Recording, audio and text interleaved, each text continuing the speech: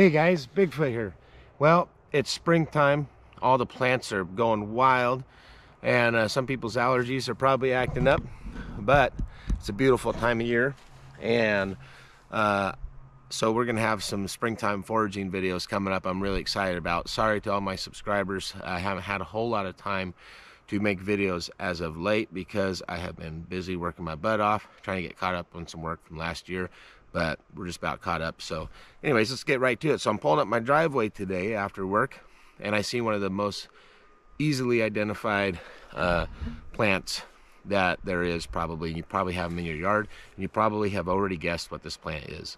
It's a dandelion. So let me show you, for those of you that might not know what a dandelion looks like, I'll show you what it looks like and we'll talk about the benefits and uh, some other plants that are growing right here next to it.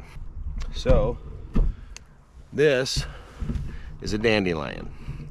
And uh, the cool thing about dandelion is it's completely edible. This top part before it turns into this flower, even now, is uh, really good fried up. You can batter them. Uh, yeah, they're, they're really tasty.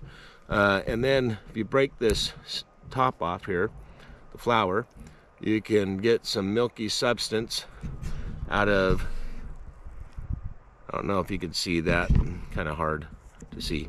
But there's a milky substance that comes out of the inside of the stem that's uh, great for joint pain and all kinds of other things.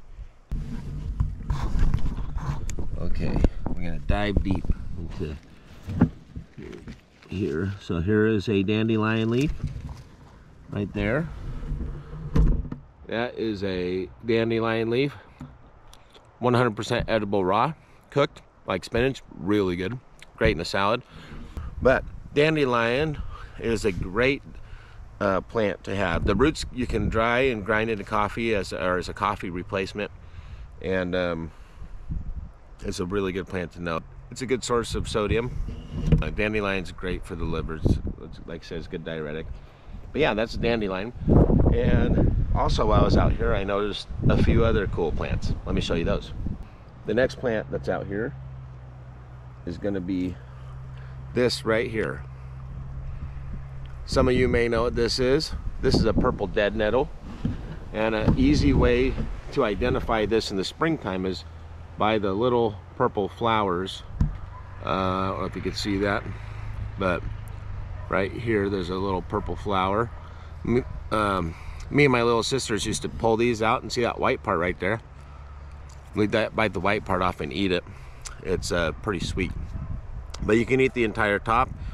Um, it's really good. You can make tincture out of it. And I'll, I'll uh, be posting a tincture video on soon. And I'll put a link to the video in the description of this video. So that way uh, you can know how to make a tincture with purple dead nettle. Now when, when uh, purple dead nettle is not flowering uh, a good way to identify this plant is by its stem. It is square. The stem is square not round. See when I twisted in my fingers, it stops on every side. So that's a square. Um, so yeah, that's purple dead nettle. It's a, a, great plant to know also. It's a good medicinal um, plant. Okay, there's another plant right here I want to show you. These are all just right here in this little area, which is awesome. Okay. Now this one, I've talked about in a few other videos. One of my favorite um, one of my favorite wild edibles is plantain right here. It's good to make spit poultice. It's uh, high in potassium. It's, a, it's you can use it like salad. You eat it raw if you want to. When they start getting bigger, they get a little bit bitter and tough, but they're still good, good for you. Um, yeah, so we've talked a lot about plantain in the past. Another plant that's grown right here.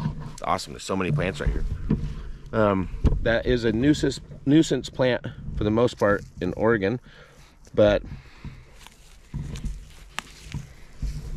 this plant right here, and uh, this is a blackberry leaf. Um, I've also talked a little bit about this, but these are good make tea with. Um, they actually kind of have a very mild blackberry flavor when you make tea with them. Um, there's another plant. Oh, yeah, check this plant out. So, these plants right here, some of you may know what they are and some of you might really dislike this plant. but you might not dislike it as much after uh, this video.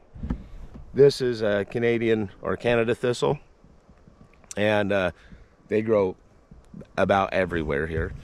But they are really one of my favorite um, favorite foods, really out out in the wild. The root of thistle is amazing. They're one of they just taste really good. Bull thistle root is one of my favorites. Um, not just wild edible. I, will eat it in my kitchen at home. Um, they also have quite a bit of health benefits. This is what a Canada thistle leaf looks like. Um, it's not milk thistle. I have some people in Oregon that believe that they have all kinds of milk thistle, but it is not milk thistle, it is Canada thistle. Milk thistle's got a lot of marbling on the leaf. So that's how you can tell the difference. That's a few plants that are growing in this small little area here.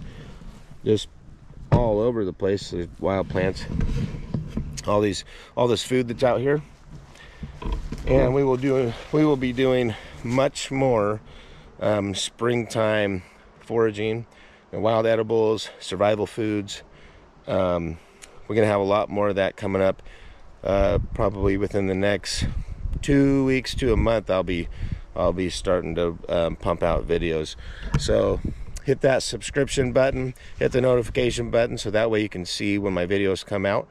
And uh, yeah share it with your friends. If you have some plants you'd like help identifying uh, just go ahead and leave a comment and I'll try to help out as much as I can. If you have questions about any of these plants uh, leave that in the comments and uh, and I'll answer those the best I can I'm not a know-it-all I just have knowledge that I've gathered throughout the years that I'd love to share with everybody and um, I think it's important to have this knowledge and pass it on down because you might need it one day so anyhow, this is Bigfoot's Outdoor Adventures, and this is Bigfoot, and I'll catch you guys soon. All right, later.